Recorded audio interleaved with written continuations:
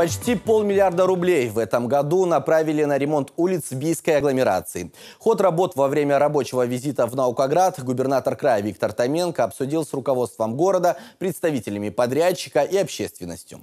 Значительную часть финансирования городу удалось получить благодаря нас проекту «Безопасные и качественные автомобильные дороги».